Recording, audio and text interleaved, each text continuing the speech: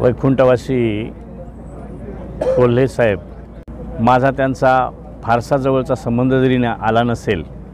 परंतु राज्याचं नेतृत्व करत असताना विभागाचं नेतृत्व कर कर करत असताना त्यांनी जे काही काम मी अनेकांच्या सिनियर मंडळीच्या मुखातून ऐकलं तर खरंच एक असा नेता गमावणं म्हणजे आपल्या राज्यात पोकळी निर्माण होणं आणि त्याबरोबर नाशिक नगर किंवा आपला हा पश्चिम महाराष्ट्र किंवा अर्धा उत्तर महाराष्ट्र म्हटला तर पाण्यावरचं काम हे शेतीचं पाणी पिण्याचं पाणी ह्याच्यावरचं काम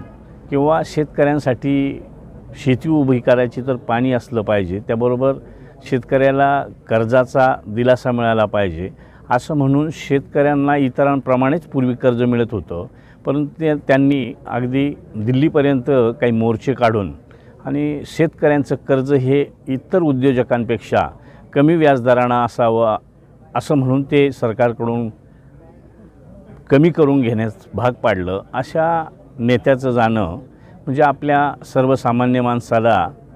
अतिशय चटका लावून जाणार आहे. आणि परंतु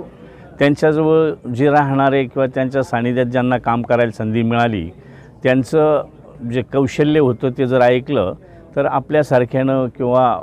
भविष्यात तरुणांनी त्यांचा आदर्श घेणं अतिशय गरजेचं आहे का जेणेकरून आपण समाजाचं कुठं ना कुठं तरी देणेदार लागतो आणि त्या पद्धतीने जर राहिलं तर मला वाटते हीच खरी श्रद्धांजली कोल्हे साहेबांना त्या ठिकाणी ठरेल. मी माझ्या झिरवाळ कुटुंबियाच्या वतीनं